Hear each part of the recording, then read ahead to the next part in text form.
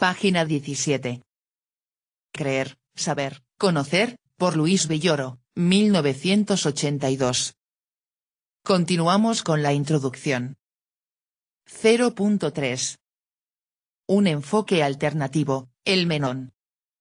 El Teetetes trata el conocimiento como un acontecimiento puramente intelectual, desprendido de sus relaciones con la práctica. No hay otro aspecto, esencial al conocimiento, que el análisis debería destacar?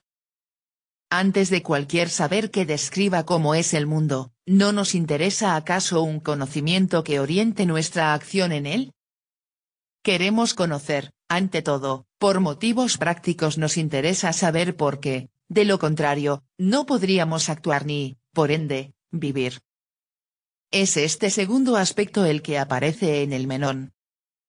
Imaginemos dos hombres, uno que conoce el camino a la ciudad de Larisa y otro que, sin conocerlo, la encuentra por una conjetura acertada ambos, el uno con su saber, el otro con su creencia cierta, serán buenos guías ambos por igual podrán conducirnos a nuestra meta.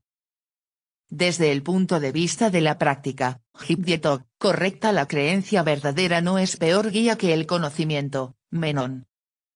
¿Qué añade, entonces, el conocimiento a la creencia verdadera, no el hecho de acertar siempre en la práctica, porque puede darse el caso de quien acierte siempre por fortuna, por tener una creencia que de hecho sea correcta, aunque carezca de base de él no diríamos que conoce, sino solo que sus conjeturas resultan acertadas.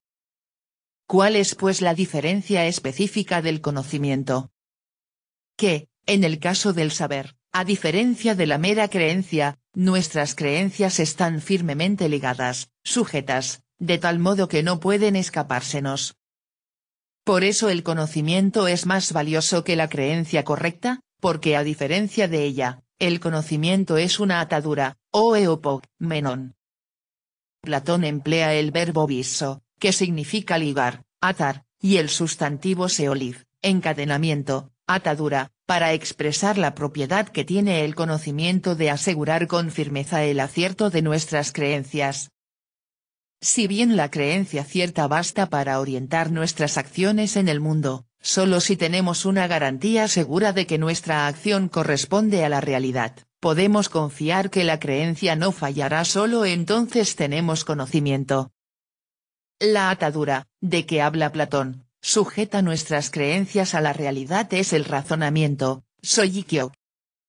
El conocimiento, a diferencia de la creencia, es una guía de la práctica, firmemente asegurada en razones. Conocer es pues poder orientar en forma acertada y segura la acción. El Menón no propone una definición de saber distinta a la del Tetetes, solo la considera desde otro aspecto.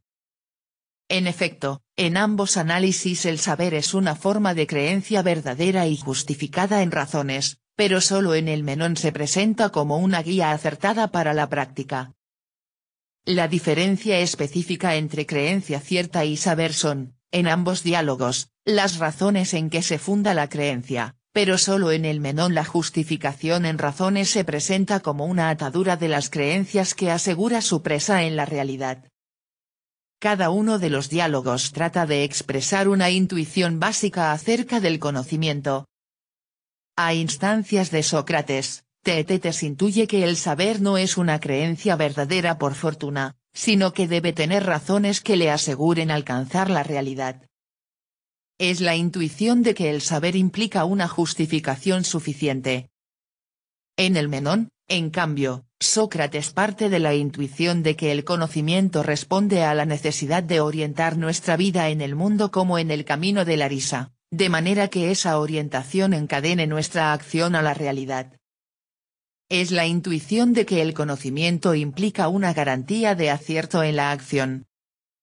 En ambos casos, el conocimiento se ve como una forma en la que el sujeto puede anclarse en la realidad. Las razones son los eslabones con que la inteligencia alcanza la verdad y la amarra que asegura el éxito de nuestra práctica.